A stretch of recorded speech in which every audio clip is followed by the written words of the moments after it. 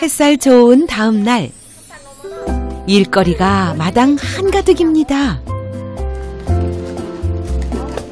고추장을 담기 위해 말린 고추를 다듬는 건데요. 할머니표 깐깐한 수업은 이제부터. 말른 거보다도 이게 봐봐. 고추가 첫 번 고추는 이 고추가 말려도 스- 검어. 그런데 이제 두채 친 기면은 색깔이 이렇게 좋으면서 두껍고 그래 어 딸이 알 때까지 몇 번을 다시 가르칩니다. 바스락바삭해서 어, 바삭바삭해 튀김 같아. 근데 고추도 댕기면서 자꾸 이 집 고추 저집 고추를 다 사보고 그래요 금방 해가는 게. 수업하랴 고추 다듬으랴 아무래도 무리인 것 같죠? 딸 한 번 가르치려다 매운 고추 때문에 호되게 혼이 나네요. 자, 따뜻한 물 좀 주세요.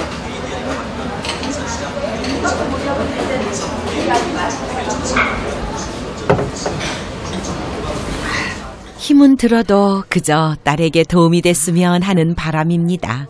근데 엄마 이제는 안 가르쳐도 잘알것 같으니까 나오셔가지고 이렇게 고생하시면서 기침하시면서 하지 아, 마시고 그래? 알았다 알았어 그냥 아이고. 맡겨요, 맡겨.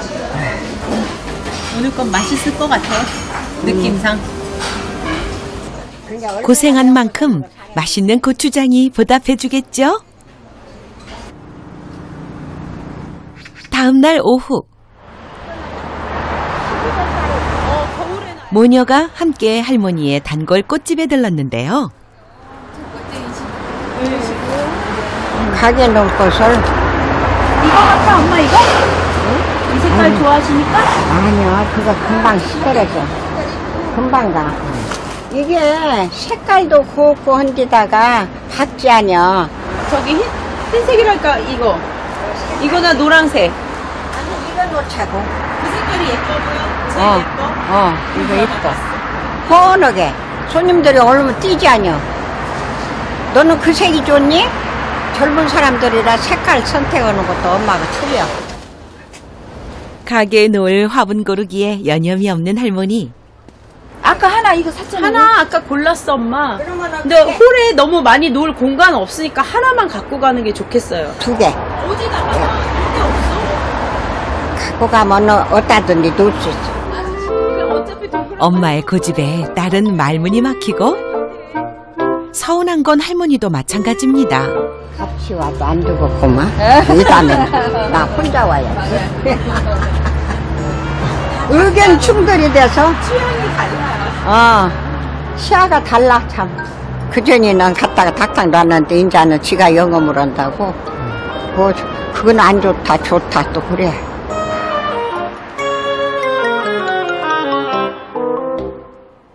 이번엔 화분을 두는 위치가 말썽입니다. 아니, 엄마 그 두 개만 너무 안 예쁘잖아요. 아니 여기 갔다가 하나 아까. 빨간 거랑 같이 놔야지. 섞어야 응. 우선 이렇게라도 놓- 놓고 우선 여기다 놓게, 엄마. 자, 보세요. 이렇게 너무 지저분해지니까 여기다가 쭉 놔. 딸이 고른 자리는 눈에도 잘 안 띄는 구석인데요. 저는 그냥 좀 시야가 편안한 게 좋기 때문에 막 뭘 뭘 많이 늘어놓으면 싫더라고요. 안 그래도 복잡한데 뭐가 많잖아요.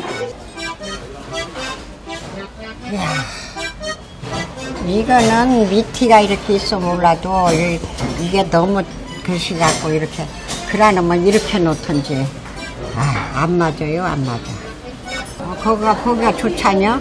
근데 자꾸 요리 구석으로 갖고 와. 그냥 의견이 안 맞아. 결국 화분을 들고 밖으로 나온 할머니. 안 비니까. 어, 문양이 나지.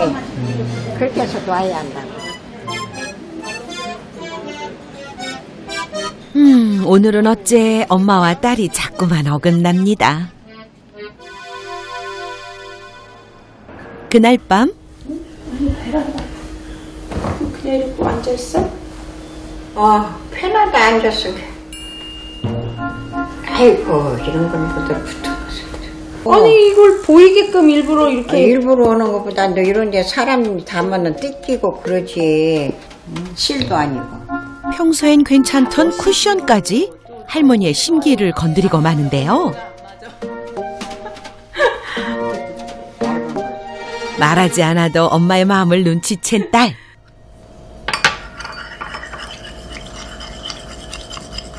뭐예요? 홍삼 액기스요.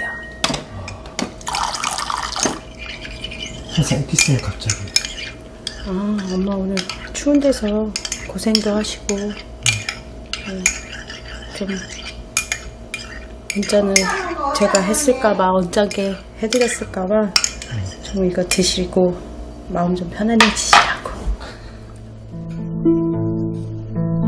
딸이 보내는 화해의 마음이 할머니에게 통할까요? 정성껏 준비한 차를 슬며시 건네봅니다. 아니, 거기다 뒤로. 엄마 이거 홍삼 액기스인데 어. 드셔보세요. 아, 오늘 그래? 고생 많으셨어. 아, 고맙다. 오늘 고생도 많고 내가 엄마 아까 뭐 화분 못 놓게 해가지고 조금 속상하셨어요? 위치가 응. 나는 거기가 안 좋은데 자꾸 거기다 그래서. 어 이제 뭐 그런 것도 그냥 딱 맡기고 신경 쓰지 말고 편하게 엄마 응? 딱 엄마 스타일로 딱 완벽히 어, 좀 안 되겠지만 그래도 이제 그런 그런 것 때문에 속상해하지 마세요. 아, 속상은 아니야. 음, 홍삼 먹고 기운 내시라고 안마 해드리려고. 아, 그래? 자, 아이고. 사실 배울 게 많은 자신 때문에 엄마가 쉬지 못한다는 건잘 압니다. 예전에는 안마 잘 해드렸는데 아이고, 어렸을 때. 시원하다.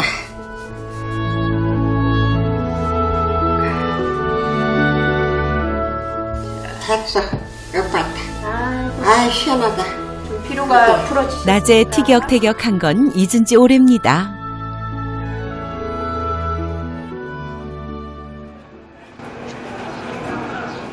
오늘은 반가운 손님이 찾아왔습니다. 둘도 없는 친구 같은 사돈인데요. 사부인은 나오셔서 운동을 이렇게 많이 하셔야 된다니까. 근데 운동력이 부족해, 내가.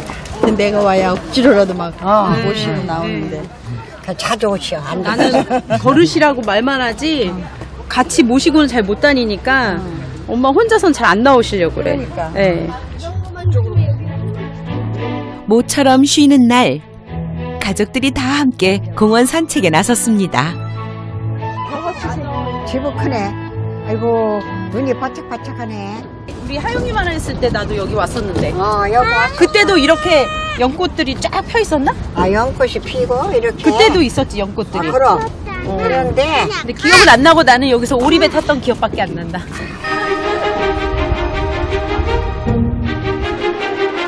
말 나온 김에 가족들이 다 함께 오리배를 타기로 했는데요. 어디 그 운전 실력 한번 볼까요? 저기까지 갔다 이렇게 돌아야지. 끝까지. 어, 야, 운전을 하려면 제대로 해요. 차선도 뺑 돌아서 없으니까. 가야지. 이 가운데서만 돌으면 아, 어떡하니? 알았어요. 뺑 돌아서. 사부인 이렇게 나오시니까 좋죠. 아, 그러면 좋죠. 사돈하고 같이 오시니까. 대화할 사람이 있잖여. 애들하고는 대화를 어떻게 했나. 옆에는 말 잘 통하는 사돈에 보기만 해도 흐뭇한 손주들까지 할머니는 더 바랄 게 없습니다. 가족과 함께하는 이 행복을 무엇에 비교할 수 있을까요? 입딱 오물고 있다가 나오니까 그냥 웃음도 나오고 보는 눈이 또 하려하고 하려하고 옛날 생각도 나고 어. 그런데 그게 얼마나 갈랑가 불러오니 이리 와.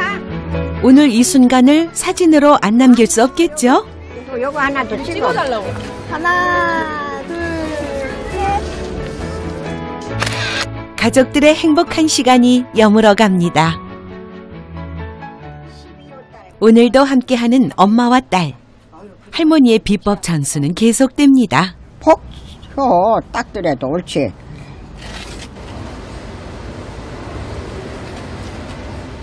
맛이 어때? 맛있어요. 맛있지? 응. 올해 지내갖고 내년이 되면은 새카미 들파냐 어두워져 그리고 벌써 한 해 지냈다고 이거 봐 색깔이 색깔이 죽지 않냐? 그것을 알아야요 음. 그리고 장 담고 고추장 담을 때는 반드시 네가 참석을 해야요 나 바빠요 하고 그 피- 필기장에다가 적기만 하지 말고 알겠어요. 어. 음. 꼭 참석할게요. 어, 필기다가 적는 것도고 눈으로 봐서 감정하는 것도 틀려요. 알았지요? 응. 내가 이제 죽으면 아유 우리 어머니가 이렇게 했는데 그런 소리 하지 말고 어, 지금 살아 있을 때 잘 열심히 배우라고 알았지요? 네, 알겠습니다. 있을 때 잘 하란 말이에요. 3대째 이어온 전통과 맛을 함께 지켜가는 모녀. 주순옥 할머니의 장수 비결은 딸에게 아직 가르쳐 줄 게 있다는 행복 아닐까요? 고마우면서도 친근하고 내가 마음이 흐뭇하다. 또 엄마가 아직까지 딱 뒤에 버티고 계시니까 감사하고 우리 앞으로도 응, 나 엄마 옆에 있고 엄마도 내 곁에 계시면서 응. 계속 행복하게 사시, 사시게 그래, 좋은 말이다. 어떻게 이렇게 어.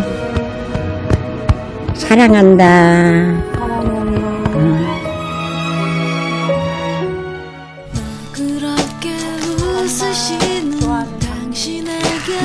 예뻐요 예뻐 예뻐? 어, 고맙다. 고마워.